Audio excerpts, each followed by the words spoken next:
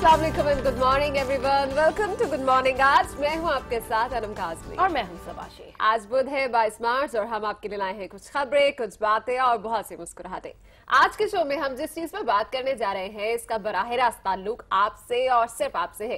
क्योंकि आज हम बात कर रहे हैं सेल्फ ग्रूमिंग पर। बहुत से लोग समझते हैं कि आपकी ग्रूमिंग का ताल्लुक आपकी अपेयरेंस के साथ है। तो जब भी कभी ऐसा ख्याल आए तो खवतीन या तो पॉलर जाकर न्यू हेयर कट ले लेती है, या फिर मार्केट जाकर कोई नया जोड़ा ले आती है। पर आज इस मिसकनसेप्शन को दूर करते हुए हम बात करेंगे कि पहनने ओढ़ने से बढ़कर आप अपनी पर्सनैलिटी में निखार किस तरह से ला सकते हैं। कुछ छोटे मोटे गेस्टर्स जिन्हें बजाहिर आप खातिर में भी नहीं लाते, पर वो आपकी पर्सनैलिटी पे एक मनफी असर छोड़ रहे होते हैं। आपका चलना, फिरना, उठना, बैठना, आपके बात करने का अंदाज हती कि आपके हाथों की मूवमेंट ये सब आपकी पर्सनैलिटी पर किस तरह से असरअंदाज होती है, इस सब पर आज के शो में बात होगी। गुड मॉर्निंग आज में। जी हाँ बिल्कुल। पर्सनैलिटी ग्रूमिंग की जब भी बात लोगों को ये लगता है कि शायद मेकअप की बात हो रही है शायद किसी आईलाइनर या मस्कारे की बात हो रही है शायद हमें कोई ट्रेंडी बनाने की बात हो रही है। बिल्कुल हम आपको ट्रेंडी ही बनाने की बात कर रहे हैं लेकिन आपके मेकअप के साथ आपके कपड़ों के साथ आपको इन तमाम चीज़ों के बारे में आगाही होनी चाहिए कि किस तरीके से टेबल पे बैठते हैं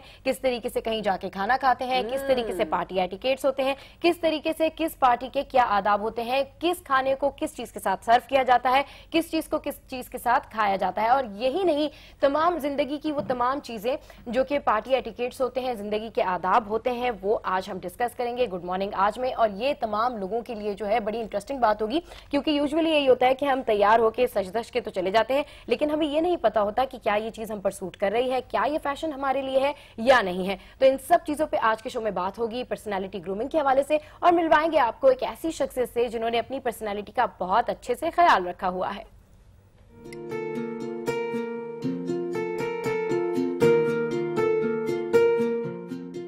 सबसे पहले तो आपके अपने अंदर ही होता है कि और आपको खुद से ही पता होता है कि आप कैसे अच्छे लग रहे हो और कैसे अपने आप को अपने लेके चलना है, क्या पहनना है, कैसे बात करना है और कैसे मूव करना है, कैसे आप चलोगे, ये सब आपके अपने अंदर होता है। और फिर जब आप लोगों से मिलते हो, कभी आपके अंदर ये होता है कि आप कभी किसी अच्छी जगह जाते हैं, लोगों से मिलते हैं तो आप उनसे भी अच्छी बातें अडॉप्ट कर लेते हैं। हर किसी को खुद को ही पता होता है कि उसको कैसे लगना है। और मिलेंगे काउंसलर मंसूर सोमरू से जो लोगों की पर्सनैलिटी बेहतर बनाने में उनकी मदद करते हैं।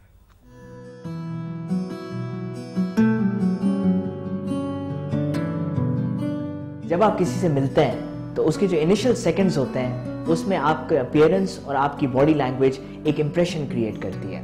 और रिसर्च ये कहती है कि जो पहले 30 सेकंड्स होते हैं वो बड़े क्रूशल होते हैं। और एचआर के जो लोग होते हैं, वो भी बहुत ज़्यादा ग्रेसफुल होते हैं। तो इसी हवाले से हमने सोचा कि आज हम आपको मिलवाएँगे फायजा तारिक कुरैशी से, जो हबीब यूनिवर्सिटी में सीनियर एचआर मैनेजर हैं।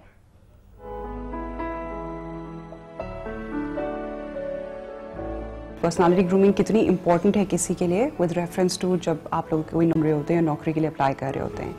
नाउ हैविंग सेड दैट मेरे लिहाज से पर्सनालिटी ग्रूमिंग बहुत इंपॉर्टेंट हिस्सा है इस चीज़ का।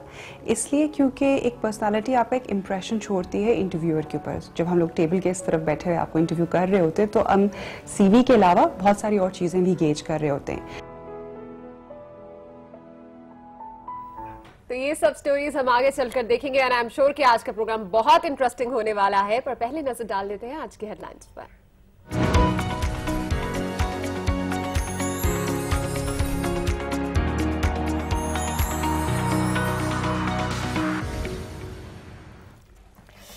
जी तो जनाब मेरे पास है इस वक्त एक्सप्रेस और आज देखते हैं कि क्या शह सुर्खियाँ हैं। और इसमें जो मेन लीड लगी हुई है, वो है फौजी अदालतों के मुतालिक, जिसमें लिखा है कि कौमी असम्बली, फौजी अदालतों में तोसी का बिल मंजूर, ज़बरदस्त। आज सेनेट में पेश किया जाएगा अट्ठाईसवीं आईनी तरमीम के साथ आर्मी एक्ट, तरमीमी बिल भी मंजूर। दो सौ पचपन अरकान ने हिमायत की अचकजई दस्ती समेत चार अरकान की मुखालफत जबकि जे यू आई गैर जानबदार। तो फौजी अदालतों के मुतालिक जो भी सिलसिला चल रहा था जो भी इसके मुतालिक खबरें रिमर आउट कर रही थी जितनी सियासी पार्टीज़ थी कुछ इसको अपोज कर रही थी। फाइनली अब उसकी तोसी का बिल मंजूर हो गया है और सेनेट में भी आज पेश कर दिया जाएगा। बिलाखिर ये ऊँट जो है वो इसका रुख कर ही चुका है और यही खबर जो है वो जंग में भी आज लगाई गई है कि फौजी अदालतें आर्मी एक्ट में तरमीम मंजूर कर लिया गया है। मिलिट्री कोर्ट्स में दो साल की तोसी जिसका तलाक सात जनवरी यहाँ पर लिखा हुआ है। अच्छा ये जो थी वो आज की अहम खबर थी जंग में अपनी हेडलाइन बनाई लेकिन आज की जो लीड है वो आपको बताएँ कि मुशर्रफ 2007 में खुफिया डील चाहते थे इनकार कर दिया अब वो चाहते हुए भी नहीं आ सकते। ये है मुकाफात अमल और ऐसा कहना है वज़ीर आज़म मोहम्मद नवाज़ शरीफ का कि सबक सदर ने मामला तय करने के लिए बिलवास्ता पैगाम भी भेजा था। वो चाहते थे कि मिलकर हुकूमत साजी की जाए बुरे हालात में पाकिस्तान छोड़ा जाना नहीं चाहते थे ज़बरदस्ती भेजा गया। हाँ। और वज़ीर आज़म मोहम्मद नवाज़ शरीफ और हम देख रहे हैं कि मुशरफ साहब के दरमियान ये ज़बरदस्त किस्म का एक मुकालमा जो अब चल रहा है। हाँ। और एक दूसरे के ऊपर बयानबाजी आ रही है इस हवाले से ही आज जो है नवाज़ शरीफ के बयान को जंग में अपनी लीड बनाया है जी हाँ ये बिल्कुल एक इंटरेस्टिंग सा मुझे बयान हम्म। लगा वजी अजम नवाज़ शरीफ का जो उन्होंने सबक जनरल मुशरफ के हवाले हाँ। से दिया कि जी ये मुकाफाते हमारे खैर अगली जो लीड है वो है अगले इलेक्शन के लिए तैयारी की हिदायत। 2007 में मुशरफ ने डील के लिए पैगाम भेजा मैंने इनकार कर दिया। और यही खबर आज की मेन लीड का हिस्सा है लेकिन यहाँ पर जो है वो डिफरेंट वे में इन्होंने हाँ। मेन लीड लगाई हुई है। अच्छा उसके बाद भारत के हवाले से है कि पाकिस्तान के एतराजा तस्लीम कर लिए हम्म। गए। चले जी अच्छी बात है। भारत डैम पर काम रोकने के लिए डिज़ाइन करने पर राज़ी।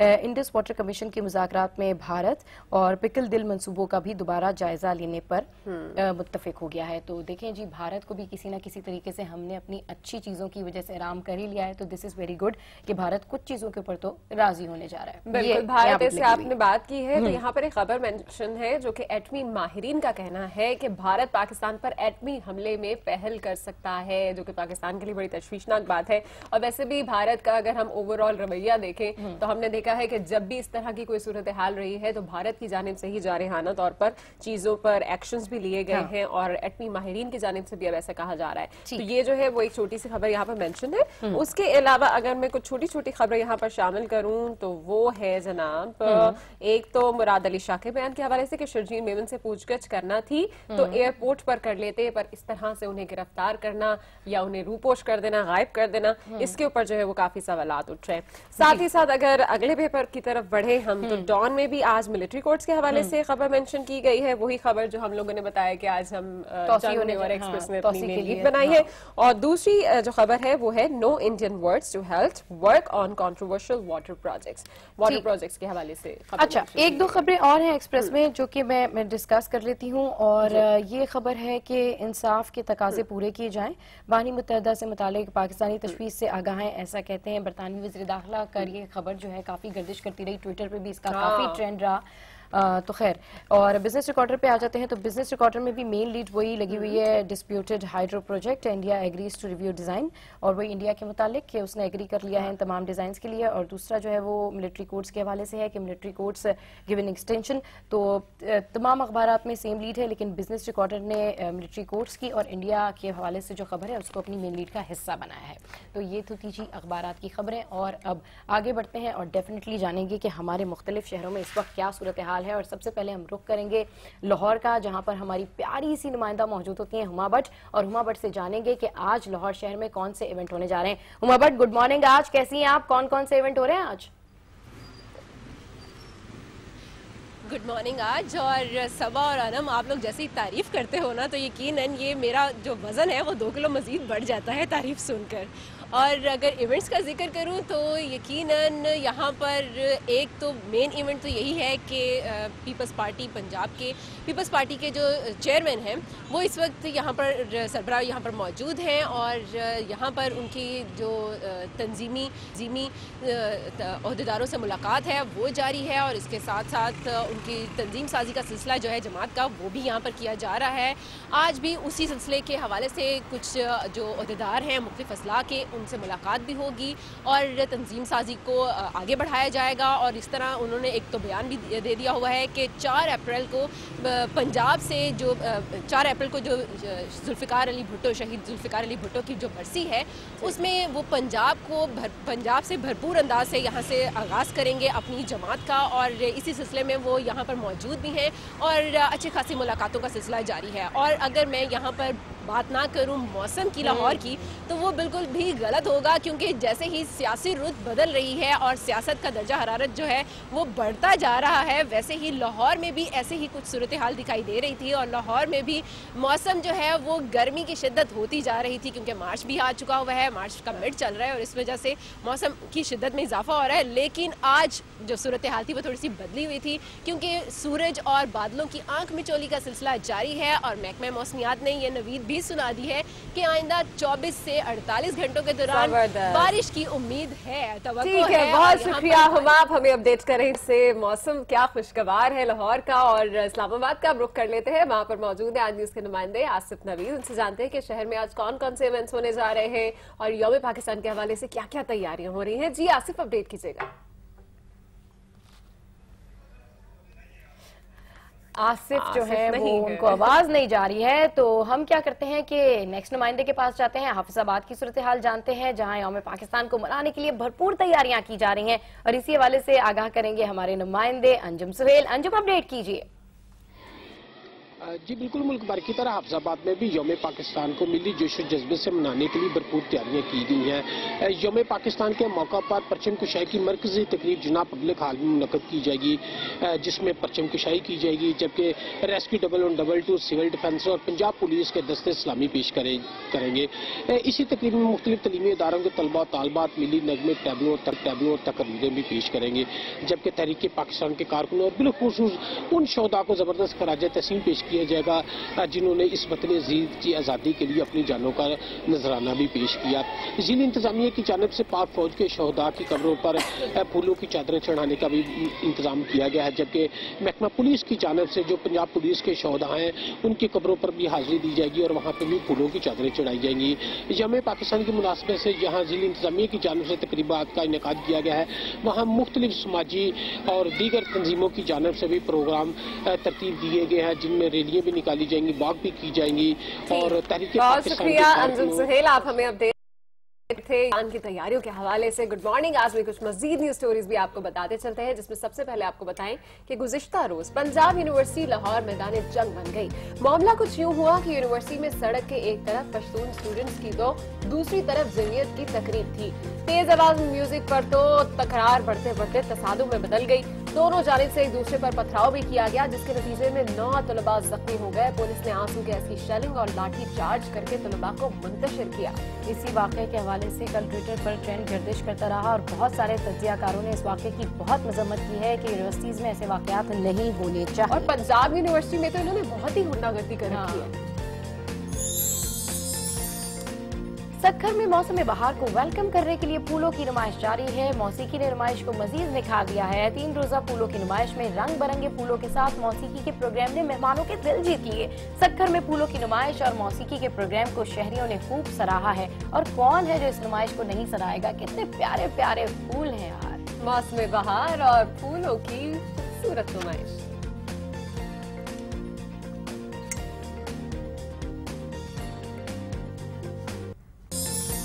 और 23 मार्च की बात करते हैं जिसके हवाले से पाकिस्तान भर में रंगारंग तकरीबात का सिलसिला जारी है। इस्लामाबाद में होने वाली महफिल मौसीकी में तलबा ने सूबों के सकाफती मलबूसात पहनकर अपने फन के ऐसे जौहर दिखाए कि चुरका दाद दिए बगैर ना रह सके। बांसुरी की धुनों ने महफिल को चार चार लगा दिया और दो तीन रोज पहले से ही ऐसा पेट्रियाटिक फील हो रहा है इतना ज़्यादा पेट्रियाटिज्म है। तेईस मार्च के हवाले से हम लोग कितने ज़्यादा एक्साइटेड है कि हम लोग अपने शो में जो है वो क्या करने वाले हैं और कल हमारे व्यूवर्स देखेंगे और जानेंगे कि गुड मॉर्निंग आज जो है वो कितना अकीदत भरा शो लेकर आता है। बिल्कुल और बहुत सी बातें होंगी और इसकी तैयारियाँ अभी से नहीं चल रही काफ़ी महीने पहले से तैयारियाँ चल रही हैं फुल ड्रेस रिहर्सल भी हो चुकी हैं तो देखेंगे कि कल क्या होने बल्कि मैंने तो एक रिंग भी ली है अच्छा। इस पे चाँद सितारा बना हुआ वो मैं कल वेयर करूँगी। गुड मॉर्निंग आज में यहाँ वक्त हुआ एक ब्रेक का जिसके बाद शामिल करेंगे। खाना बनाने का झटपट तरीका और करेंगे बहुत मज़े मज़े की बातें।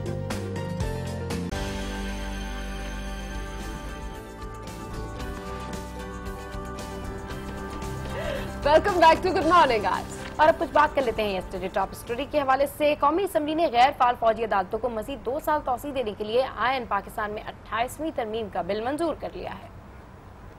कौमी असम्बली का अजलास स्पीकर अयाज सादिक की जेर सदारत हुआ। इजलास में फौजी अदालतों की बहाली का आईनी तरमीम बिल शिकवार मंजूरी के बाद कसरत राय से मंजूर किया गया। दो सौ पचपन अरकान असम्बली ने इस बिल की हिमायत में वोट दिया। वज़ीर अजम ने भी दीगर अरकान की तरह इस बिल की हिमायत में खड़े होकर वोट दिया। महमूद खान अचकजई और जमशेद दस्ती समेत चार अरकान ने बिल की मुखालफत की। रायशुमारी के दौरान ऐवान ने तरमीमी बिल में अपोजिशन और जमीयत इस्लाम की मौजूदा तरमीम मुस्तरद कर दी। तरमीम के तहत मुल्क में फौजी अदालतें सात जनवरी दो हज़ार सत्रह से बहाल तस्वर होंगी। और जनाब यस्टरडे टॉप स्टोरी तो आपने जानी। अब अखबार के एडिटोरियल में क्या कुछ लिखा गया है, इस पर नज़र डालने के लिए हमारे साथ मौजूद है लाहौर स्टूडियो से अनवार हाशमी साहब। वालेकुम and welcome to good morning आज। अनवार साहब, कैसे हैं आप? वालेकुम वालेकुम अस्सलाम मैं बिल्कुल ठीक हूँ। अच्छा ये बताएँ आज क्या लिख रहे हैं एडिटोरियल्स? देखिए आज जो लाहौर से शाये होने वाले उर्दू और अंग्रेज़ी के बेशतर अखबार ने तो वज़ी अजम के उस फैसले को जो है अपने इदारियों का मौजू बनाया है जिसमें उन्होंने अफ़गान सरहद को दोबारा खोलने का ऐलान किया है। और। अखबार ने उनके बारे में लिखा है कि ये एक मुदबराना फैसला है हम्म। अफ़गानिस्तान को एक बार फिर मौका दिया मौका दिया जाता है कि जिन वजूहत की बिना पे हमने ये सरहद बंद कर दी थी हम्म। उनका सद्देबाब करे हमने एक दफ़ा खैर सगाली का मैसेज दिया है अपने मसाइल देखते हुए इसके बावजूद भी हमने फैसला किया है हम्म। तो ये अखबार का मौजू है कि अफ़गानिस्तान को एक मैसेज दिया गया है दोस्ती के अंदाज में सरहद खोल दी गई है ताम उनको उन चीज़ों का तहफात का ख्याल रखना पड़ेगा लेकिन ख़ास तौर पर आज हम चाहते हैं कि आरिफ निज़ामी साहब का कालम जो है उसको अपने इस प्रोग्राम में शामिल करें। ठीक है आरिफ निज़ामी साहब की आपने बात की है तो डेफिनेटली उनके फादर जो थे हमीद निज़ामी साहब उनको बाबा सहाफ़त भी कहा जाता था और 23 मार्च को ही उनके रोजनामे ने आगाज़ भी किया था सहाफ़ तो इस हवाले से उनकी बड़ी खिदमात रही हैं सहाफ़त के शोबे में तो आज हम उनको लाइन पे भी लेंगे उनके कॉलम के हवाले से भी डिस्कशन करेंगे। तो सबसे पहले आप ये बताएँ कि आरिफ निज़ामी साहब ने किस चीज़ के ऊपर कॉलम लिखा है क्या मैंशन किया है? रोजनामा दुनिया में उनका कालम छपता है जेर बैस के उनवान से। और आज उनका जो उनवान है वो है बयानिया बदलेगा। Narrative will change Okay. बुनियादी तौर पे पिछले कई रोज से प्रोग्रामों में भी ये डिस्कशन होती रही है कि नवाज़ शरीफ ने चंद रोज पहले जो लाहौर में खिताब किया था एक तो जामिया नईमिया में और इसके अलावा उन्होंने कराची में होली की तकरीब में जो खिताब किया था तो उसमें उन्होंने मुख्तलिफ़ बातें की थी। एक तो उन्होंने कहा था कि जिहाद के हवाले से उलमाए कराम को जो है, वो सोचना पड़ेगा और बयानिया बदलना पड़ेगा। यानी इसके एक बैकग्राउंड है। तो आरिफ निज़ामी साहब ने नवाज़ शरीफ की अपनी सारी हिस्ट्री उनकी पॉलिसियाँ देखी थी कि माजी में उनकी क्या पॉलिसियाँ थी, क्या पॉलिसी लेके चलते थे और एकदम उनके अंदर जो है, बहुत ही जो है वो एक रोशन ख्याली पैदा हो गई है और पॉलिसियों में बहुत ज़्यादा तब्दीली हो गई है ख़ास तौर पे वो चाहे उलमा कराम के बारे में हो जिहाद के जिहाद के बारे में हो इवन के भारत के बारे में भी हो तो इस चीज़ को ले कर वो आरफ निज़ामी साहब आगे चले हैं कि ख़ास तौर पे जब कराची की होली में शिरकत की थी तो उनका कहना था कि पाकिस्तान इसलिए नहीं बना कि एक मज़हब दूसरे पर गालिब आ जाए हम्म। और उन्होंने कहा कि नवाज़ शरीफ के अंदर ये तब्दीली बड़ी खुश आइंद है जदीद दौर में तो इन चीज़ों को लेके वो आगे बढ़े हैं जिन्होंने हाँ। अपने कालम में साहब इस वक्त हमारे साथ आरिफ निजामी साहब लाइन पर भी मौजूद है उन्हें भी शो में वेलकम करना चाहेंगे। अस्सलाम आरिफ साहब कैसे हैं आप? जी। आरिफ साहब एक बड़ा ही ज़बरदस्त कॉलम आपने लिखा है और इस पर अनवार हाशमी साहब भी डिस्कशन कर रहे हैं नरेटिव विल चेंज और वज़ीर आज़म या मोहम्मद नवाज़ शरीफ की पॉलिसीज़ के हवाले से आपने बात की है। तो अनवार साहब की जानब बढ़ना चाहेंगे। अनवार साहब क्या पूछना चाहेंगे आप? देखिए, मैं पहले तो मुख्तसर तौर पे ये बताना चाहूँगा आरिफ निज़ामी साहब के बारे में, क्योंकि जो नई नस्ल है, जो नई जनरेशन है, उनको बताना पड़ता है। हमारे लिए भी बड़ी खुशकस्मती की बात है कि मैं लाहौर में आरिफ निज़ामी साहब के जो माजी में इदारा था, उसके अंदर मैं काम करता रहा हूँ, अपनी सहाफ़त का आगाज़ किया है। नवाए वक्त से निदाय मिलत से। तो ये बुनियादी तौर पे मैं मुख्तसर ये बताऊँगा कि आरिफ निज़ामी साहब के वालिद हमीद निज़ामी साहब जो कि बाबा सहाफ़त थे। और ख़ास तौर पे कल जिस तरह आप 23 मार्च को सेलिब्रेट करने जा रहे हैं तो आ, इनके वालिद साहब हमीद निज़ामी साहब ने 23 मार्च 1940 को आ, उस नवाए वक्त की बुनियाद रखी थी। जिसने तहरीक पाकिस्तान में लोगों को शूर दिया कैद अजम की पॉलिसियों को आगे बढ़ाया। हम्म। तो ये तो निज़ामी साहब खुद जो है एक वर्कर जर्नलिस्ट के तौर पे इन्होंने काम किया फिर दी नेशन के एडिटर रहे और आजकल इनका अपना अखबार अलग है पाकिस्तान टुडे उसके भी एडिटर हैं। और ख़ास तौर पर इलेक्ट्रॉनिक मीडिया में एक चैनल के अंदर जो इनका प्रोग्राम चलता है मुख्तलिफ़ बहस करते हैं उसके अंदर पॉइंट्स देते हैं। तो उस उस लिहाज से भी बिल्कुल अनवार आशमी साहब हम बहुत ऑनर फील कर रहे हैं इस वक्त के इस वक्त हमारे साथ आरिफ निजामी साहब हमारे साथ लाइन पर मौजूद हैं। सर बहुत बहुत शुक्रिया। आज आपने आज न्यूज़ के लिए वक्त निकाला। आपसे आपके कॉलम के बारे में डिस्कस करना चाहेंगे। आपने जो प्राइम मिनिस्टर की पॉलिसीज़ के हवाले से लिखा है कुछ बताइए। या मुझसे मुखातिब है? जी जी बिल्कुल बिल्कुल। जी ये कॉलम मैंने जो लिखा है एक तो तेईस मार्च आ रही थी उस हवाले से। कल है कि ये अच्छा मौका होता है कि हम सोचें कि हम कहाँ खड़े हैं जहाँ हम पाकिस्तान को ले जा रहे हैं। जी। लेकिन जो मियाँ नवाज़ शरीफ साहब ने हालिया चंद हफ्तों में बयान दिए हैं वो बिल्कुल मुस्लिम लीग की सबका पॉलिसियों से हटके जो कि एक वेलकम चेंज के तौर पर मैंने लिखा है कि मसलन ये जिन्हें दो टॉलरेंस की पॉलिसी के मज़हब आपका निजी मसला ये बातें ऐसी इससे पहले मुस्लिम लीग के प्लेटफॉर्म से ये उनकी मुखालफत की जाती रही है। फिर आपको मालूम है कि जो कायद आज़म मोहम्मद अली जिना की स्पीच है जो ग्यारह सितंबर की 1947 की कॉन्स्टिट्यूट असेंबली की। उसको हमेशा पाकिस्तान में डी एम्फोसाइज किया जिसमें उन्होंने कहा कि मज़हब हर पाकिस्तान में सबको बराबर की होगी हिंदू अपने टेम्पल्स में जाएँगे मुसलमान मसाजिद में जाएँगे। उसकी अब सरकारी तौर पर भी तस्वीर हो रही है। तो इस सारी चीज़ को मौजूदा तनाजर में वेलकम किया जा सकता है। अच्छा आरिफ निजामी साहब ये बताइएगा डेफिनेटली इकतदार आने के बाद पॉलिसी तो चेंज होती ही है ऑब्वियसली जब आपने एक मुल्क की बागतोड़ संभालनी हो। इस तमाम तर सूरत हाल में क्या समझते हैं आप? पॉलिसीज़ तो डेफिनेटली डिफरेंट हुई हैं लेकिन क्या वो नेशन की फेवर में है? जी एक तो सवाल है कि पॉलिसी महज बयान से नहीं बदली जाती। इसके और भी बड़े लवाजमात हैं। जैसे मैंने इसी को कि ये इसकी जो जब जब तक इस, इस पॉलिसी की डाउनवर्ड वो नहीं होती वो उस पर अमल नहीं होता। आ, ये आ, महज बयान देने से तो पॉलिसी लेकिन ये आपका जो दूसरा सवाल है कि ये नितिन के फेवर में यकीन पाकिस्तान को इसकी ज़रूरत है कि यहाँ पे खातन को बराबर के हकूक हो मनोरिटीज को हो। हम एक ऐसा माशा बनाए जहाँ पे हम जीव जीने हो। और इसके लिए जो करिकुलम में तब्दीलियाँ और जो ये मदारस को रेगुलेट करना मीडिया के अंदर कुछ इस किस्म के बहस को सामने लाना। और फिर सबसे बड़ी बात है जो मैंने अर्ज़ किया कॉलम में कि बस मौलाना फजल रहमान जो इनकी को इलेक्शन पार्टनर है वो मुखालफत करते हैं इन सारी चीज़ों की। फिर इनकी अपनी पार्टी के अंदर बहुत सारे ऐसे अनासर हैं जो कि इन चीज़ों से अग्री नहीं करते। हैं ठीक है जी बहुत शुक्रिया इस वक्त हमारे साथ। आरिफ निज़ामी साहब मौजूद थे बड़े इनके अहम इकदाम हैं सहाफत हाँ। के लिए बहुत काम किया है इन्होंने और अभी हमारे साथ इस वक्त लाइन पर मौजूद है हमारे लाहौर के ब्यूरो चीफ अनवार हाशमी साहब। जी अनवार हाशमी साहब आपने सुना कि आरिफ निज़ामी साहब ने क्या बातें की सारा कुछ क्या बताया उन्होंने अपने कॉलम के बारे में। इस पर आप क्या कहना चाहेंगे? बल्कि मैं ये पूछना चाहूँगी कि पॉलिटिकली जो प्राइम मिनिस्टर नवाज़ शरीफ ने अपनी पॉलिसीज़ चेंज की हैं इसका बैन अवी तौर पर और खुद उनकी अपनी सियासत पर और सियासी जमातों पर क्या असर पड़ेंगे?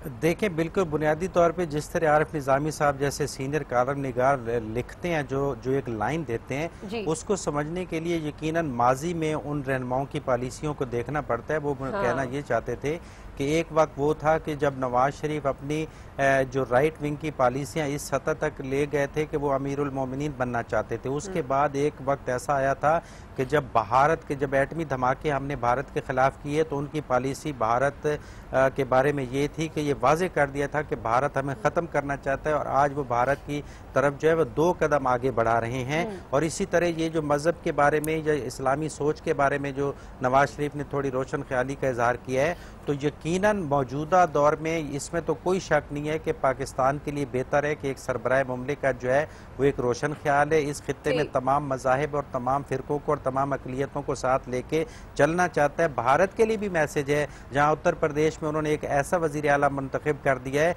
कि जो मुसलमानों के बारे में क्या सोचता होगा। तो आरिफ निज़ामी साहब ने थोड़ा सा तनकीदी तंजी अंदाज में नवाज़ शरीफ को एक इशारा भी दिया है हम्म। और उनको वेलकम भी कहा है। बुनियादी तौर पे उनका जी बड़ा इंटरेस्टिंग सा कॉलम था ये अनवार हाशमी साहब जिसको हमने आज डिस्कस हाँ। भी किया and thank you so much for joining us ये कॉलम था जिसके ऊपर उन्होंने तफसीली तौर पर बहस भी और है ना उत्तर प्रदेश में जिसके बारे में ये बात कर रहे हैं वो हाँ। मोदी से भी दो हाथ आ गए हैं अल्लाह जाने क्या होने जा रहा है भारत में। खैर आगे बढ़ेंगे और टॉप वर्ल्ड न्यूज़ आपको अनम बताएँगे। सबसे पहले आपको बात करेंगे जो खबर देंगे वो हम हम्म। अमेरिका से देंगे कि अमेरिकी सदर डोनाल्ड ट्रंप ने आठ मुस्लिम ममालिक की नौ फिजाई कंपनियों से बरकी आलात दस्ती सामान में लाने पर भी पाबंदी लगा दी है। इन मुल्कों में उर्दन मिस्र टर्की सऊदी अरब कुवैत मराकेश कतर और यूएई शामिल बस यही रह गया था।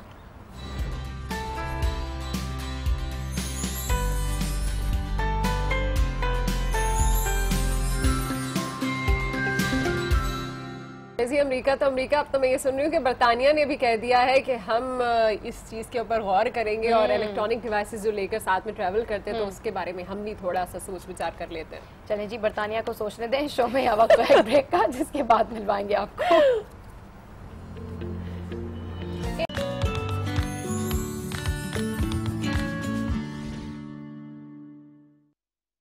अमेरिकन आर्मी की जानब से मरहलावार रॉकेट बनाने का प्रोग्राम शुरू किया गया। पहले मरहले में डब्ल्यू ए सी कारपोरल और दूसरे मरहले में वी टी रॉकेट बनाए गए। वीटी रॉकेट जिसमें मोशन पिक्चर वाला कैमरा लगा हुआ था, जो 24 अक्टूबर को फायर किया गया। इस रॉकेट में लगे कैमरे से पैंसठ मील ज़मीन से ऊपर की तस्वीर रिकॉर्ड की गई। ये कैमरा चालीस हज़ार मील का रकबा कवर कर सकता था।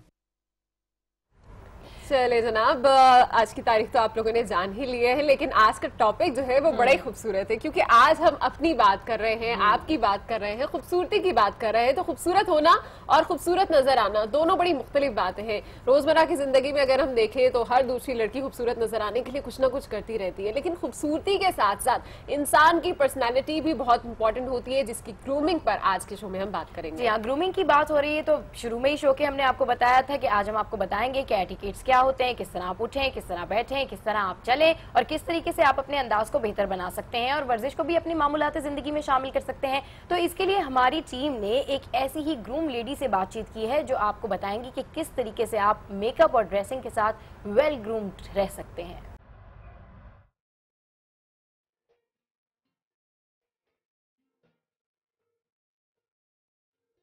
सबसे पहले तो आपके अपने अंदर ही होता है कि और आपको खुद से ही पता होता है कि आप कैसे अच्छे लग रहे हो और कैसे अपने आप को अपने लेके चलना है, क्या पहनना है, कैसे बात करना है और कैसे मूव करना है, कैसे आप चलोगे, ये सब आपके अपने अंदर होता है। और फिर जब आप लोगों से मिलते हो, कभी आपके अंदर ये होता है कि आप कभी किसी अच्छी जगह जाते हैं, लोगों से मिलते हैं तो आप उनसे भी अच्छी बातें अडॉप्ट कर लेते हैं। लेकिन ज़्यादातर ये आपके अपने अंदर होता है या आपके फैमिली में होता है आपके अराउंड जो भी आपके फ्रेंड्स हैं रिश्तेदार हैं उनसे आप देखते हो सीखते हो। कह देते हैं कभी दोस्त के तुमने ज़्यादा ऊँचा बोल लिया या तुमने ज़्यादा ऊँची आवाज़ में हंस लिया? तो ये आ, उ, उस उस जगह पे ये मुनासिब नहीं था। तो इस तरह के से लोग कभी करते हैं और मैं खुद भी करती हूँ। अगर मेरे साथ मेरे अपने फ्रेंड्स हैं या मेरे बहुत क्लोज मेरी कजन्स हैं और उनको भी अगर मुझे कुछ समझाना हो तो मैं उनको भी बताती हूँ कि आप लोग थोड़ा ऐसे उठो, ऐसे बैठो या ऐसे तैयार हो या अपने आप को ऐसे लेके चलो, मैं भी उनको समझाती हूँ। हर किसी को खुद को ही पता होता है कि उसको कैसे लगना है।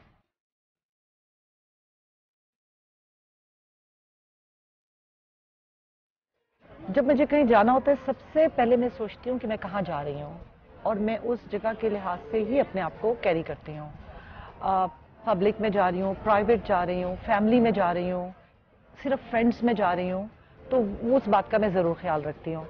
और जब मैं तैयार होती हूँ तो मुझे ये होता है कि हर चीज़ बैलेंस हो नॉर्मल हो, बहुत ज़्यादा मैं कहीं जाऊँ तो मैं बहुत ज़्यादा ओवर ड्रेस भी नहीं लगूँ और अंडर ड्रेस भी नहीं लगूँ। मैं प्रेजेंटेबल टाइडी एंड अच्छी लगूँ। तो उसके लिए मुझे होता है कि मेरे बाल अच्छे बने हुए हों, मेरा मेकअप हल्का हो, मेरे कपड़ों के कलर्स अच्छे हों, और बस मैं ओवरऑल अच्छी लगूँ।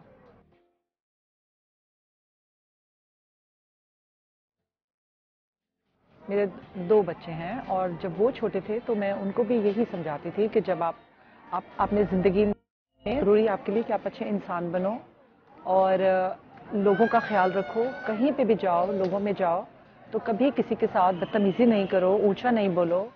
ये बहुत ज़रूरी है बच्चों को सिखाना कि आप में तमीज़ होनी चाहिए छोटे बड़े का अदब होना चाहिए और आपको अ, अ, अच्छा इंसान होना चाहिए।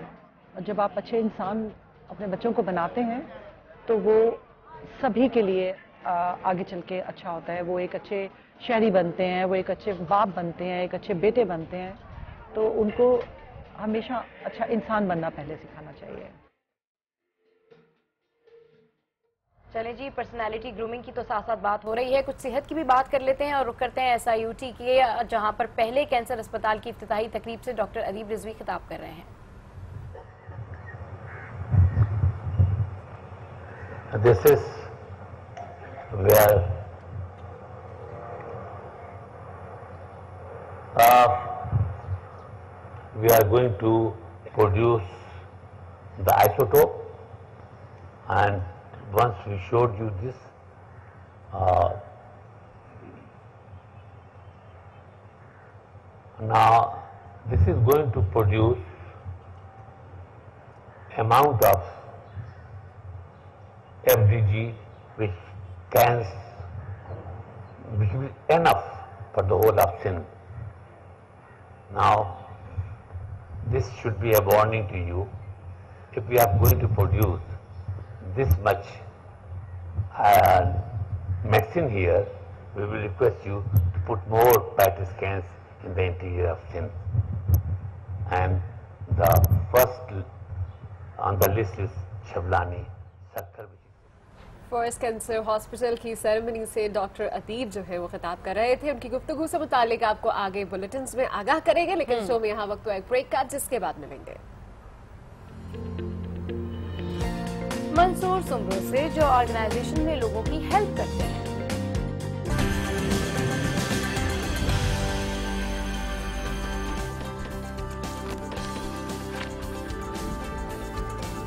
Welcome back to good morning आज और बात हो रही है पर्सनालिटी ग्रूमिंग की तो इसी हवाले से हमारे साथ स्टूडियोज में मौजूद है लाइफ कोच फाकिया इमरान। आइए इनसे मिलते हैं और बात करते हैं और जानते हैं इनके ख्याल पर्सनालिटी ग्रूमिंग के हवाले से। वेलकम टू गुड मॉर्निंग आज Fakiha thank you thank you. बिल्कुल ठीक ठाक जी and good to see you girls over here बहुत अच्छा लग रहा है okay I like the door वाला पार्ट बिल्कुल सही नहीं डेफिनेटली आपकी पर्सनालिटी से ही हमने देखिए हमने भी इससे पहले फिक्स कर लिया था कि कौन किसकी तारीफ़ करेगा but thank you very much I like that अच्छा ये मैं नहीं थी यहाँ पे। मज़ाक कर रही हूँ आज हम बात कर रहे हैं पर्सनालिटी ग्रूमिंग के हवाले से। आप मुख्तलिफ़ सर्विसेज़ भी लोगों को देती हैं बताती हैं समझाती हैं एजुकेट करती हैं लेकिन हम लोग खसूसी तौर पर आज पर्सनालिटी ग्रूमिंग के ऊपर बात करने जा रहे हैं। आज हमने शो की शुरुआत ये की थी कि लोग अक्सर समझते हैं कि हमने जिस तरह से ड्रेसिंग की हुई है जिस तरह से हम अपने आप को कैरी कर रहे हैं शायद यही से फैक्टर्स हैं जिससे आपकी ग्रूमिंग का ताल्लुक है। आपका वे ऑफ़ टॉकिंग आपके एटिकेट्स ये सब चीज़ें लोग समवेयर नजरअंदाज कर जाते हैं। आपसे हम सबसे पहले ये जानना चाहेंगे कि पर्सनैलिटी ग्रूमिंग में कौन कौन से एलिमेंट्स आप समझती हैं कि बहुत ज़रूरी होते हैं जिनके ऊपर आपको नज़र रखनी चाहिए। बिल्कुल I think so that's a very good question क्योंकि आमतौर पे यही होता है कि हम इसमें हमारी टोटल जो कह लें सारी अटेंशन जो है जो तवज्जो जो लगी होती है वो ये कि अच्छे से कपड़े पहन लो और सर अच्छा सा मेकअप कर लो या बाल बना लो और घर से निकल जाओ और आपको लगता है कि बहुत ज़बरदस्त किस्म की वो होगी। एक प्रोग्राम अभी जो मैं आपसे बात कर रही थी कि यूजली पर्सनालिटी पे इंप्रेशन पे जब बात आती है तो एक छोटी सी एग्जांपल मैं जो यहाँ पे देना चाहती हूँ और जो अक्सर हम प्रोग्राम कर भी रहे होते हैं उसमें भी हम करते हैं जैसे रेत पे गीली रेत के ऊपर या रेत के ऊपर जब आप चल रहे होते हैं तो हर चलते हर दफ़ा जब उस पर कदम रखते हैं तो वो एक निशान छोड़ देता बिल्कुल। ठीक है? फिर जब तक पानी की लहर आके उस निशान के ऊपर से नहीं जाती वो निशान वहाँ पे रहता है। ठीक। जो चीज़ हमारे समझने की है वो ये है कि जब भी दो लोग आपस में मिलते हैं जैसे मैं आपसे मिल रही हूँ या आप किसी से आगे मिल रहे हैं तो हम अपनी एक छाप जो है इसी तरह उसी निशान की तरह रेत पे निशान की तरह दूसरे आदमी पे छोड़ देते हैं। राइट वहाँ पे तो एक लहर आके जब दोबारा आती है तो वो निशान खत्म हो जाता है पर लेकिन ये कि जो हम लोगों की इंटरेक्शन है यहाँ पे एक बहुत बड़ी बात है कि वो निशान बहुत देर तक रहता है।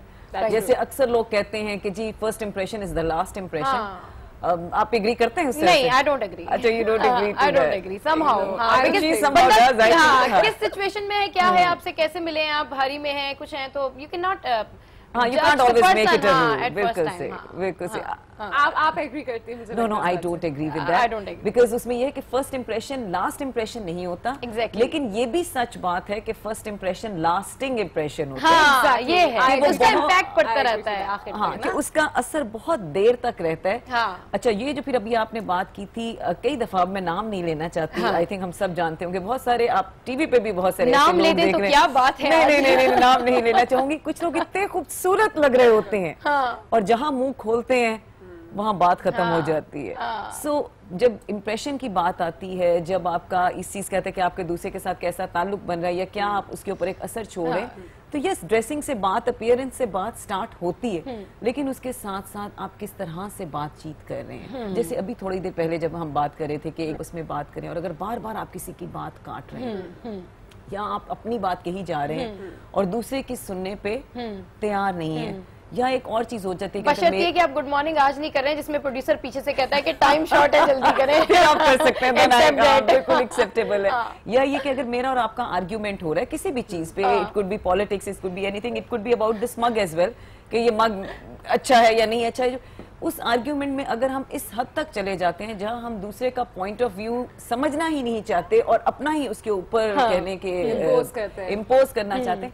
तो ये सारी चीज़ें कोई ना कोई जो एक कहने एक कदर तासुर दूसरे के ऊपर छोड़ती हैं। तो ये अपेयरेंस बहुत ज़्यादा ज़रूरी है लेकिन उसके बाद से जो बातचीत है कम्युनिकेशन का तरीका है वो फिर एक चीज़ और होती है कि कभी आप देखें आई डोंट नो बहुत सारे लोग बहुत अच्छे अल्फाज में बहुत खूबसूरत लगता है कि बात कर भी रहे होते हैं। लेकिन अगर आप थोड़ी देर बाद जब पाँच मिनट के बाद वो जाते हैं आप सोचें यार इसने कहा क्या है? तो उस पूरे में से कोई मवाद उसका नहीं होता। समझ नहीं आ रहा होता कि यार इतनी लंबी चौड़ी बात की है, कहा क्या है एग्जैक्टली हाँ, मकसद क्या मकसद था? क्या हाँ, था? मकसद क्या था इस बात बिल्कुल उसमें कोई हाँ। सब्सटेंस आपको हाँ, कहीं पे भी यानी वाकई सबसे पहले आप रेट करना चाह रही हैं आपके वे ऑफ़ टॉकिंग को। यानी आपकी ड्रेसिंग और आपकी ओवरऑल जो आपने जिस तरह से अपने आपको कैरी किया हुआ है उसके बाद जो सबसे इंपॉर्टेंट चीज़ है वो आप किस तरह से बात कर रहे हैं। आपने सबसे नंबर वन पे से रेट किया। सेकंड नंबर पे किसे देखिए एक सिंपल से एग्जांपल देते हैं जैसे मैं और आप हम तीनों यहाँ पे बैठे हुए अगर इस वक्त यहाँ पे कोई कमरे में या इधर कोई एंटर होता है तो पहली चीज़ हमारी आई मीन कौन सी चीज़ है जो हम नोटिस करेंगे? डेफिनेटली सलाम दुआ नहीं की पहले हाँ पेरेंट्स देखेंगे हाँ, फिर उसके बाद नेक्स्ट हम जाएँगे यही सलाम दुआ वाले। अब सलाम करने के भी बड़े तरीके हैं। हाँ, ठीक है जी सलाम अलैकुम आया और दूसरे के सर में मार दिया। ठीक है सलाम प्यार से भी किया हाँ, जा सकता है। हाँ, तो उसकी बेस पे भी आप एक होनी हैं। हाँ, या एक और चीज़ बड़ी अच्छी है आप किसी रूम में जाते हैं ना आप दरवाज़ा खोलते हैं और वहाँ अगर कुछ लोग बैठे हुए हैं जैसे ऑफ़िस में और आपने सोचना है कि मैं किसके साथ जाके बैठूं? हाँ। किसके पास जाके बैठेंगे आप पहले? आप एक्सप्रेशन डेफिनेटली उसी शख्स के पास जो हैप्पी गो लकी होगा बड़ा आपको प्लेजेंटली वेलकम करेगा आपके सलाम का जवाब ठीक से हाँ, देगा बिल्कुल सही। हाँ। अब अगर आप आपने दरवाज़ा खोला और चार शक्लें नज़र आ रही हैं जिनमें से दो ऐसी हैं कि अच्छा मेरे से ये बिल्कुल सही आपने एक्सप्रेशन तो एकदम आप इट्स लाइक अ बोर्ड आपने फेस हाँ, पे लगाया है हाँ, कि अच्छा डोंट कम नियर मी मेरे करीब भी मत आना। हाँ बिल्कुल। सो ये चीज़ें बाज़ बहुत दफ़ा अभी हम मुँह भी नहीं खोलते हैं। एक होती है ना जिसको हम नॉन वर्बल कहते हैं कि बॉडी लैंग्वेज जो है और जो हम अल्फाज कहते हैं वो तो है सो है लेकिन बहुत सारी चीज़ें जो हम नहीं कहते हैं वो बहुत ज़्यादा लाउड होती हैं। वो ज़्यादा एक्सप्रेसिव होती है। बहुत ज़्यादा एक्सप्रेसिव होती है बहुत ज़्यादा लाउड होती है आपको कुछ कहने की ज़रूरत ही नहीं होती लेकिन आपके फेस से आपकी बॉडी लैंग्वेज से बहुत कुछ पता चल जाता है। तो है आज कोई छोटी मोटी आप टिप्स ज़रूर दें हमें कि किस तरह से लोग जो इस वक्त हमें देख रहे हैं अपनी पर्सनालिटी को ग्रूम कर सकते हैं। हमने बात की है कि आपके बोलने ये बोलने के तरीके तो आपको डेफिनेटली घर से उसकी भी ट्रेनिंग होती है। है। इसमें एक और चीज़ इन्हीं के क्वेश्चन में एक और हाँ। चीज़ मैं ऐड करना चाहूँगी। अनम के क्वेश्चन के साथ वो तो टिप तो आप डेफिनेटली देंगी। लेकिन पर्सनली मुझे ऐसा फील होता है कि एटिकेट्स तो आपको घर से मिलते हैं लेकिन आपकी अपनी एस्थेटिक सेंस भी होती है कि कहाँ किस चीज़ को किस तरह प्रेजेंट करना है। ये चीज़ यहाँ पे ठीक रहेगी भी या नहीं रहेगी? तो इसका कितना किरदार होता है देखिए दो के अंदर? बिल्कुल एक तो चीज़ जो आपकी दो बातों को अगर मैं लेके चलूँ एक तो ये है कि अगर आप एस्थेटिक्स की बात हाँ, करें हाँ। तो एस्थेटिक्स की बात ये होती है कि बाज़ औक़ात ज़रूरी नहीं अच्छा लगने के लिए आपको सिर्फ़ और सिर्फ़ हाँ। भारी जेब की ज़रूरत है। डेफिनेटली ठीक है? हाँ। आप थोड़ी जेब में थोड़े पैसों में भी अच्छे लग सकते हैं। और बाज़ औक़ात इतनी महँगी महँगी चीज़ें ली होती हैं और वो सब एक साथ पहन लिया जाता है। बेकार लगता है। तो वो एक दूसरे को कॉम्प्लीमेंट नहीं कर रही होती बल्कि एक तरह से पूरी ओवरडू कर देते हैं आप पूरी चीज़ पूरी चीज़ को। दूसरी जो बात आप कॉमन सेंस वाली बात कर रहे थे देखिए कॉमन सेंस अगेन एक किसी लफ्ज में या किसी एक सेंटेंस में बयान नहीं की जा सकती। इसका एक बड़ा सिंपल सा मुझे जो भी तक चीज़ समझ आई है वो ये कि जितनी आपकी नॉलेज और चीज़ों के बारे में बढ़ती जाएगी आपके बातचीत करने के तरीके में उतना ही सब्सटेंस मवाद आता जाएगा। निखार आ जाएगा। अब ये वो चीज़ है जो कि मैं फेक एक तरह से इसको कह लें कि नहीं कर सकते नहीं कर सकता, हाँ। क्योंकि ये सारी की सारी चीज़ें कि अगर आप कुछ पढ़ेंगे कुछ चार लोगों से बात करेंगे हाँ। आपकी नॉलेज में इजाफा हो रहा है। हाँ। आप एक हद तक थोड़े अरसे तक शायद एक फिसार सा या एक एक्टिंग कर सकते हाँ, हैं। हाँ। बट ये ज़्यादा अरसा नहीं। लॉन्ग लास्टिंग लॉन्ग नहीं लास्टिंग नहीं होती। एंड ऑफ़ द डे पता चल जाता है अल्टीमेटली आपकी नेचर ही चल रही होती है बिल्कुल आपकी विजडम कितनी है या आपकी कितनी नॉलेज है वो वहाँ से फिर निकल के आती है। अच्छा जैसे मैंने फाके आपसे कहा कि ये चीज़ें कुछ आप अपने घर से भी सीखते हैं आपने बातचीत किस तरह से करनी है वो आपके घर का माहौल भी समय बता रहा है। लेकिन कुछ छोटी मोटी टिप्स होती हैं जब आप किसी से बात कर रहे हो जैसे अगर किसी ने शेड्स पहने और शेड्स पहन के आप किसी से बात कर रहे हो तो बड़ा रूट कंसिडर किया जाता है। आपको जब भी किसी से बात करनी है तो आपको अपने शेड्स उतार के फिर उससे मुखातिब होना चाहिए। कुछ ऐसे बॉडी या आप हैंड मूवमेंट्स होते हैं कुछ बॉडी गेस्टर्स होते हैं जब आप बात कर रहे हो तो उससे भी आपकी पर्सनैलिटी के बारे में पता चल रहा होता है कि आप कितने वेलकमिंग हो या कितने आप किसी को आप उस मामले में थोड़े से रिलेक्टेंट हो। तो ये चीज़ें ये छोटी मोटी टिप्स तो आपसे हम ज़रूर चाहेंगे कि आज आप हमें इस हवाले से भी कुछ बिल्कुल मैं टिप्स आपको ज़रूर दे दूँगी वो कोई मसला नहीं है लेकिन अगेन एक चीज़ है कि वक्त के साथ साथ बहुत सारी चीज़ें बदली हैं। जिसमें देखें एक ब्रिटिश स्टाइल बड़ा प्रिम एंड प्रॉपर हमें चूँकि ब्रिटिशर्स ने बहुत अरसे तक रूल किया तो हमारे में वो चीज़ कुछ अरसा रही भी।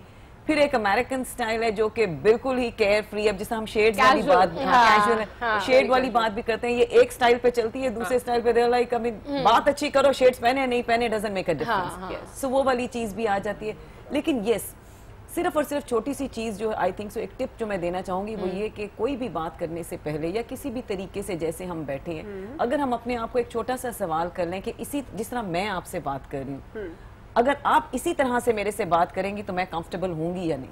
हाँ, बिल्कुल, हाँ। अगर मुझे अगर मैं ऐसे बैठी हूँ कि मैंने पाँव पूरा दूसरे के यूँ करके जिस तरह कहते हैं ना मुँह के ऊपर करके किया exactly. हुआ है तो कैश फेसिंग है या बिल्कुल। तो कोई सी भी चीज़ें क्योंकि डिफरेंट असूल आ जाएँगे लेकिन सिर्फ़ ये एक क्वेश्चन ज़रूर पूछना चाहिए अपने आप को कि जिस तरह मैं आपको ट्रीट कर रही हूँ जिस तरह जो अल्फाज मैं आपके साथ इस्तेमाल कर ये जो एक्सप्रेशन है कि अच्छा शक्ल बना के भी हाँ। मुझे अपना तो दिखाना ना कि हाँ। मैं फिर मैं हूँ। ठीक है तो ये- यही हमारा सबसे बड़ा मसला होता है ना। ठीक। सो सिर्फ़ अगर हम एक दफ़ा अपने आप को ये पूछने कि जिस तरह से मैं दूसरे के साथ पेश आ रही हूँ अगर वही जब दूसरा मेरे साथ आएगा तो मुझे इन चीज़ों से तकलीफ़ होगी या नहीं?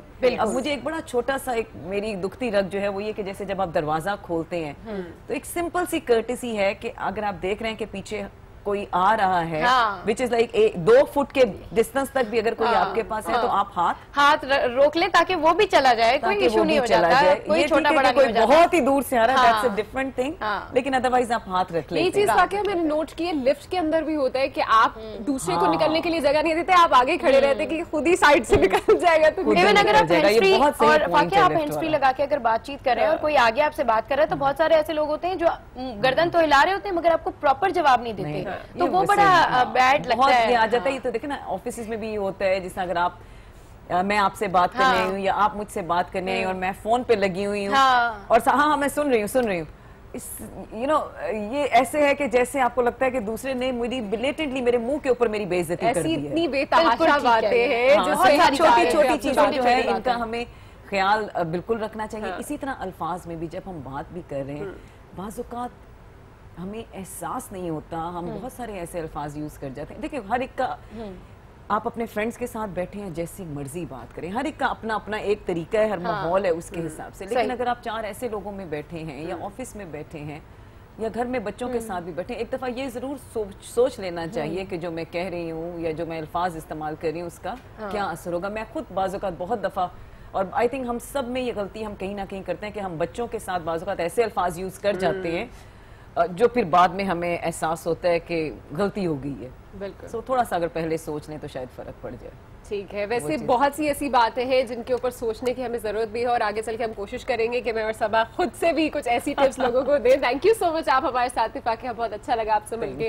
एंड आपकी पर्सनालिटी से हम वाकई बहुत thank you very much thank you so much इसी के साथ जनाब आगे बढ़ते हैं और एक ताज़ा तरीन खबर है जिससे आपको पहले अपडेट करते चले कि पिशावर की औरगजई इतमान खेल में सिक्योरिटी फोर्सेस ने सर्च ऑपरेशन करके टीटीपी के अहम कमांडर समेत पाँच दहशतगर्दों को हला कर दिया है, जबकि मुताद दहशतगर्दों को हिरासत में भी ले लिया गया है। जी हाँ आपको इस आम खबर से आगाह कर रहे हैं। ये खबर है पिशावर से। पिशावर की लोई और अगजई इतमान खेल में सिक्योरिटी फोर्सेज ने सर्च ऑपरेशन करके टीटीपी के अहम कमांडर समेत पाँच दहशतगर्दों को हलाक कर दिया है, जबकि मुताद दहशतगर्दों को हिरासत में ले लिया गया है। इसी हवाले से मजीद आपको बताते रहेंगे, अपडेट करते रहेंगे। फ़िलहाल यहाँ पर एक और अहम खबर से आपको आगाह करें कि आर्मी चीफ का यौम पाकिस्तान के लिए खसूसी पैगाम पाकिस्तान को फसादियों से पाक करेंगे।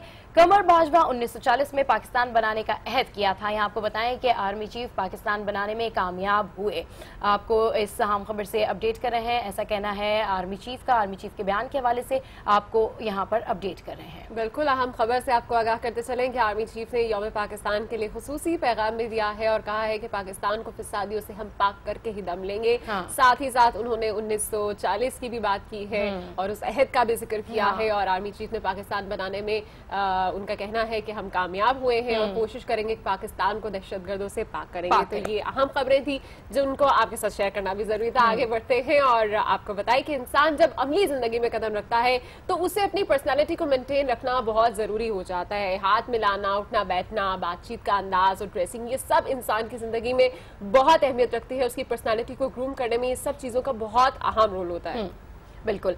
ऐसे ही एक काउंसलर है, मंसूर सुमरो, जो लोगों की उनकी पर्सनैलिटी बेहतर बनवाने में उनकी बहुत हेल्प करते हैं। गुड मॉर्निंग आज की टीम ने उनसे बात की है। आइए आपको दिखाते हैं।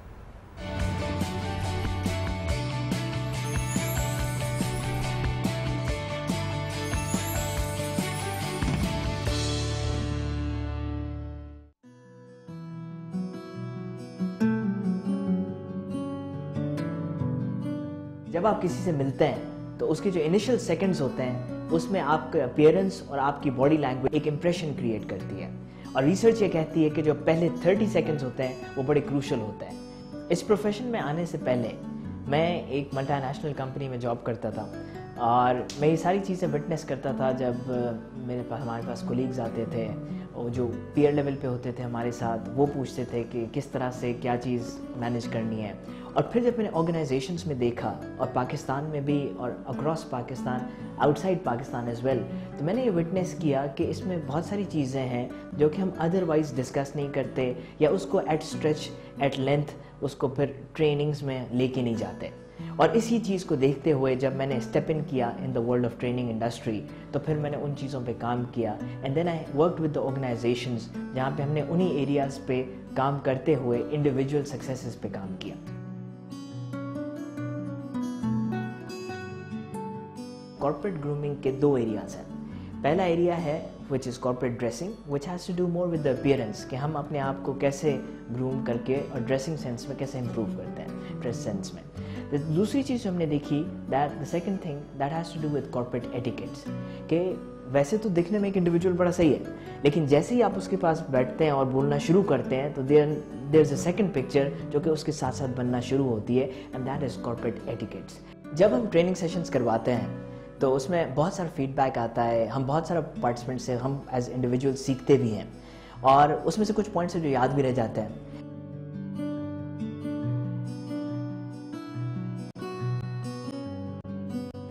पर्सनालिटी एक बड़ा इंपॉर्टेंट एरिया है जो हम बात करते भी हैं इस पर लेकिन बहुत सारे एक्शंस हैं जो इस पर ड्राइव होते हैं। एक गोल्डन रूल है जो कहता है कि treat others as you want to be treated कि दूसरों को ऐसे ट्रीट करें जैसे आप चाहते हैं कि आपको ट्रीट किया जाए। लेकिन उसके बाद एक और उससे बेहतर प्लेटिनियम रूल है, जो ये कहता है कि treat others as they want to be treated कि उनको उस तरह से ट्रीट करें जिस तरह से वो चाहते हैं। और जब इसकी बात करते हैं तो हम ये बात करते हैं कि आपको अपनी पर्सनैलिटी भी समझनी है और फिर दूसरों की पर्सनैलिटी भी समझनी है। जब हम पर्सनैलिटी की बात कर रहे हैं तो ये कोई बड़ी कोई हाई फाई चीज़ की बात नहीं कर रहे बड़ी सिंपल चीज़ है।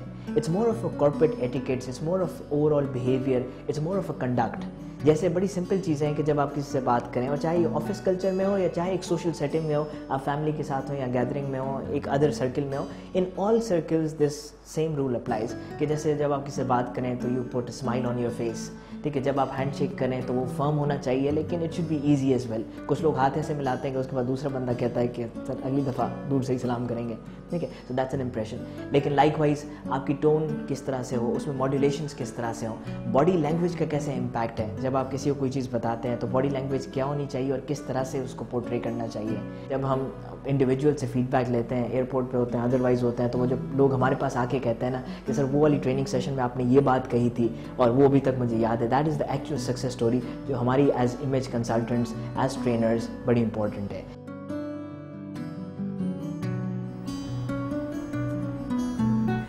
तो शो में यहाँ वक्त हुआ एक ब्रेक का जिसके बाद मिलवाएँगे आपको। हबीब यूनिवर्सिटी में सीनियर एच मैनेजर फायजा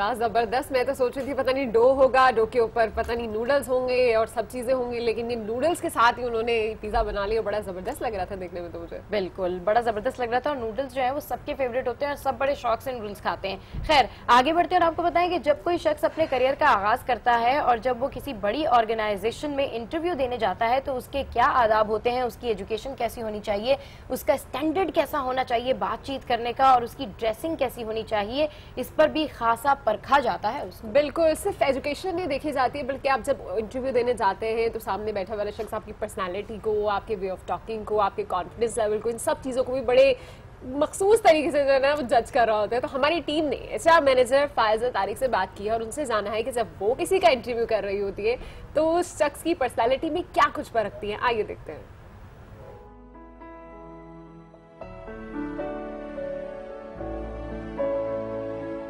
मेरा नाम फ़ायज़ा तारिक कुरैशी है। मैं हबीब यूनिवर्सिटी के ऊपर एज सीनियर मैनेजर एचआर काम कर रही हूँ। एंड पर्सनालिटी ग्रूमिंग कितनी इंपॉर्टेंट है किसी के लिए? विद रेफरेंस टू जब आप लोग कोई नौकरी ढूंढ रहे होते हैं, नौकरी के लिए अप्लाई कर रहे होते हैं। नाउ हैविंग सेड दैट मेरे लिहाज से पर्सनालिटी ग्रूमिंग बहुत इंपॉर्टेंट हिस्सा है इस चीज़ का। इसलिए क्योंकि एक पर्सनालिटी आपका एक इम्प्रेशन छोड़ती है इंटरव्यूअर के ऊपर। जब हम लोग टेबल के इस तरफ़ बैठे हुए आपको इंटरव्यू कर रहे होते हैं तो हम सीवी के अलावा और चीज़ें भी गेज कर रहे होते हैं। कॉन्फिडेंस हम इस तरह गेज करते हैं कि जब मैं कोई सवाल पूछ रही हूँ तो उसमें इंसान कितने कॉन्फिडेंस से जवाब दे पा रहा है। लड़खड़ा तो नहीं रहे जवाब देते हुए बहुत से लोग फ्रीज हो जाते हैं। और चीज़ हम लोग गेज करते हैं कि आप किस किस्म के अटायर में, यानी कि ड्रेसअप में हमारे पास आए हैं या कपड़ों में आए हैं। ना आई अंडरस्टैंड कि हम पाकिस्तान जैसे एक मुल्क में रहते हैं जहाँ पे सीजन्स बड़े वेरी करते हैं। गर्मी बहुत तेज़ होती है, सर्दी बहुत तेज़ होती है। कोई ये नहीं कह रहा कि एक्सपेंसिव किस्म के ब्रांडेड कपड़े आप पहन कर आए, मगर साफ़ सुथरे कपड़ों में आएँ साफ़ सुथरे जूतों में आएँ। लड़कियों के लिए स्पेशली मैं कहूँगी कि काफ़ी दफ़ा लड़कियाँ समझती हैं कि मैं जितने ज़्यादा डिज़ाइनर वेयर कपड़े पहनूँगी या जितना मैं झिलमिल वाले कपड़े, शादी वाले कपड़े लड़की पहन के आ जाती हैं ऐसा नहीं होता। आपको देखना पड़ता है कि आप किस किस्म की पोजीशन के लिए अप्लाई कर रहे हैं और उसके साथ मैच करके अपने आप को अकॉर्डिंगली आप लेके चलते हैं।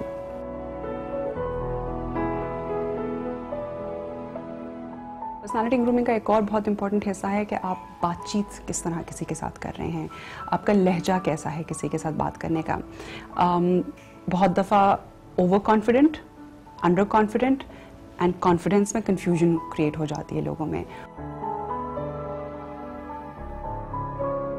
कोई एक ऐसी सिचुएशन जहाँ पे मैंने किसी को पर्सनालिटी बेसिस के ऊपर फ़ौरन हायर कर लिया हो या रिजेक्ट किया हो येस बहुत सारे ऐसे केसेस हुए हैं जो मुझे पॉजिटिव रिकॉल हो रहा है। वो ये हो रहा है कि हम लोग एक बहुत जूनियर लेवल पोजिशन के लिए ओपनिंग छोड़ी थी हम लोगों ने। मुख्तलिफ़ किस्म की रेज्यूमेज आई थी। एक पर्टिकुलर बच्चा स्टूड आउट क्योंकि उसने जिस किस्म की रिसर्च की थी ऑर्गेनाइजेशन के बारे में, वो जिस किस्म के आइडियाज़ लेकर आया था, दिख रहा था कि उसने अपना एक वक्त देकर रिसर्च करके अवेयरनेस क्रिएट करके फिर वहाँ पहुँचा है। अच्छा ऑल्सो उसका अटायर वॉज़ नथिंग फिनमिनल के जी, उसने कोई बहुत ही कोई ऊँचे ब्रांड की टी शर्ट पहनी हो या शर्ट पहनी हो या सूटेड बूटेड आयो बड़े नॉमिनल किस्म के अटायर में था, मगर he looked decent and he looked presentable और रिजेक्शन शायद मोस्टली इसलिए किए हैं क्योंकि दूसरी तरफ़ से बदतमीजी का उनसर आ रहा था। आई एम सॉरी लोग समझते हैं कि पर्सनैलिटी का हिस्सा नहीं है ये इट इज़ बहुत बड़ा आंसर है स्पेशली जब आप एक कॉर्पोरेट सेक्टर में नौकरी ढूँढने जाते हैं।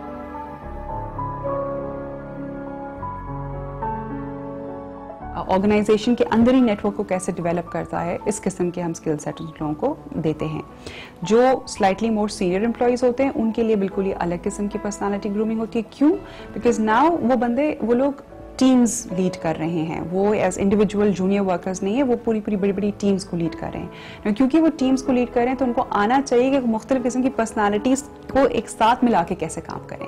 So this is the kind of personality grooming we give them कि जी एज सीनियर्स आपने अपने आप का रोल किस तरह से सामने दिखाना है? आपने जूनियर्स के लिए क्या रोल क्रिएट करना है? ताकि जूनियर्स आपको देख के, वो कहते हैं ना lead by example so juniors आप में क्या चीज़ देखें, ताकि वो भी उसको फिर इम्यूलेट करें पॉजिटिव चीज़ को इम्यूलेट करें। And she is very right कि जब कभी आप इंटरव्यू के लिए जाते हो तो लाजमी नहीं होता कि आपके ड्रेसेस जो है वो बिल्कुल ब्रांडेड होने चाहिए बहुत ही ज़बरदस्त होने चाहिए बट एटलीस्ट वो आपके ऑफ़िस इन्वायरमेंट को मैच करने चाहिए आपका अटायर जो है वो साफ़ सुथरा होना चाहिए और प्रेजेंटेबल आपको लगना चाहिए आपने कहीं परफ्यूम यूज़ कर लिया हाँ, चीज़ें भी कुछ ऐसे छोटे छोटे फैक्टर्स होते हैं जो कि आपकी पर्सनैलिटी को मजीद निखार देते तो इन तमाम चीज़ों के बारे में ज़रूर और मैंने ऐसे भी बहुत सारे लोग देखे कि उन लोगों पर वो फ़ैशन सूट नहीं करता हाँ। वो चीज़ें सूट नहीं करती लेकिन उसके बावजूद भी वो वेयर करते हैं और उनको लगता है कि वो अच्छे लग रहे हैं मेरे ख्याल में आपका कंफर्ट स्टाइल हम्म। आपका वो होता है जो फ़ैशन आप पे सूट करे या जिसमें आप कंफर्टेबल फील करें और सब साथ साथ हम हम्म। देखते हैं कि जब कोई शख्स इंटरव्यू के लिए जाता है हाँ। तो बजाय कि आपने घड़ी पहनी हो हाथ हम्म। में आपने ब्रेसलेट्स पहने होते आपने गले में हार पहने होते तो इन सब चीज़ों से आपकी पर्सनैलिटी का वो आंसर भी नज़र आ रहा होता है कि आप कितने नॉन सीरियस हो चलिए जी इस पे मजीद भी बात करेंगे लेकिन शो में यहाँ वक्त एक ब्रेक का जिसके बाद मिलेंगे पाकिस्तान के चमकते सितारों So don't go anywhere, stay with us. Keep watching. Good morning, आज.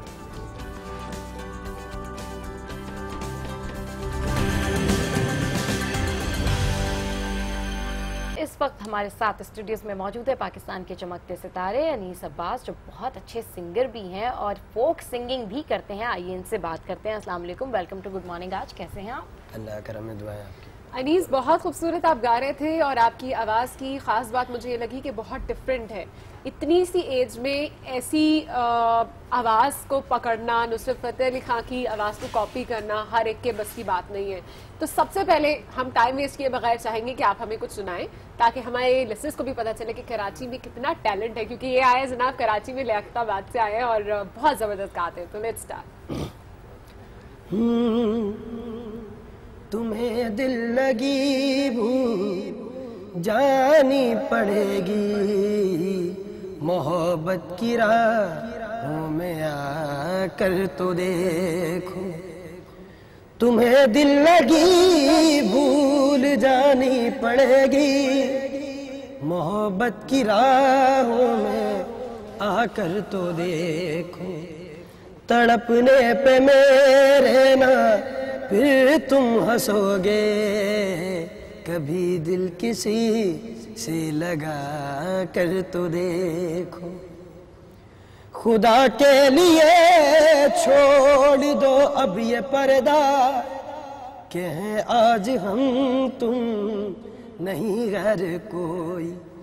शबे वसल भी है, हिजाब इस कदर क्यों? जरा रुख से पल उठा कर तो देखो। ज़बरदस्त ना सिर्फ़ आप गा रहे हैं बल्कि गाने के साथ रोमांस कर रहे हैं जो कि बड़ा अच्छा लग रहा है। ये बताइए आपने कहीं से सीखा है? जी नहीं मैंने अभी किसी से नहीं सीखा। मैं गॉड गिफ्टेड है अल्लाह ताला की तरफ़ से। अच्छा। अच्छा ये भी बताइए साथ साथ कि आप डेफिनेटली ये सिंगिंग तो कर रहे हैं। इसके अलावा आपने किसी जॉनर में ट्राई किया है कि सिर्फ़ फोक सिंगिंग ही करते हैं आप? फॉक सिर्फ़ फोक सिंगिंग करते folk हैं। अच्छा कुछ और सुनाएँगे हमें? हम्म, सॉन्ग सुना सोचता हूँ कि वो कितने मासूम थे। क्या से क्या हो गए देखते देखते। सोचता हूँ कि वो कितने मासूम थे। क्या से क्या हो गए देखते देखते। मैंने पत्थर से जिनको बनाया सनम वो खुदा हो गए देखते देखते। अच्छा एक और सॉन्ग भी आप गा रहे थे आफरी आफरी। वो गाएँगे आप प्लीज़ हम्म, तुम सा देखा नहीं खूबसूरत कोई जिस्म जैसे अजंता की मूरत कोई जिस्म जैसे निगाहों पे जादू कोई जिस्म नगमा कोई जिस्म खुशबू कोई, जिसम जैसे मचलती हुई रागनी, जिसम जैसे चमकती हुई चांदनी, जिसम जैसे के खिलता हुआ एक कबल जिसम जैसे के सूरज की पहली किरण, जिसम तरशा हुआ दिल कशो दिल नशी संदली संदली मरमरी मरमरी उसने जाना की तारीफ़ मुमकिन नहीं। ज़बरदस्त। अच्छा आप फोक सिंगिंग करते हैं तो यूजुअली लोग पाकिस्तान में जितने भी हमारी जो यूथ है जो यंग जनरेशन है वो सब जो है वो चाहती है कि आप दूसरी सिंगिंग की तरफ़ जाएँ आप पॉप करें। लेकिन आप फोक कर रहे हैं इतना मुश्किल तो कैसे चूज़ किया ये?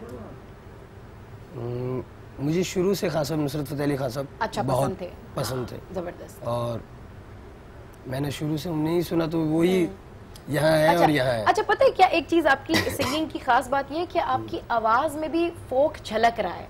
ऐसा लग रहा है कि वाकई आप फोक सिंगिंग कर रहे हैं बहुत सारे लोग बहुत सारे सॉन्ग्स फोक ही गाते हैं लेकिन वो कहीं ना कहीं रिलेट नहीं करता लेकिन आपकी आवाज़ में जो जो जो फील आ रही है ना वो फोक की ही है। खनक है। हाँ खनक है। ये की क्या आप कह रहे हैं क्या आपने ट्राई किया था इसके मैंने ट्राई किया था कि मैं आतिफ असलम साहब को गाऊं अच्छा। और अरिजीत सिंह हाँ। जो सिंगर्स हैं हाँ, जी जी। इस टाइप के मैं बहुत कामयाब कोशिश हुए कि। नहीं? नहीं फिर नहीं बस ठीक है दिल नहीं लगा उस स्टाइल है ना। लगा, चलिए कोई नहीं। रह के चलना चाहिए बड़ा ज़बरदस्त आपने गाया।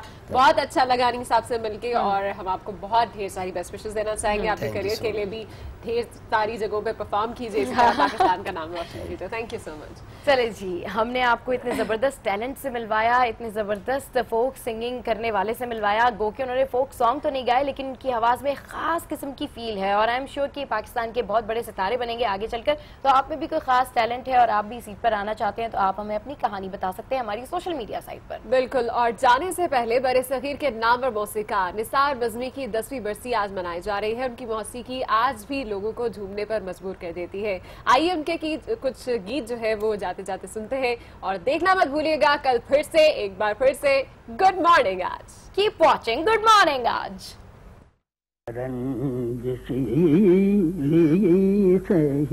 ये तो क्लासिकल अंग हो गया ना क्लासिकल बगैर क्लासिकल के तो गाना ही नहीं।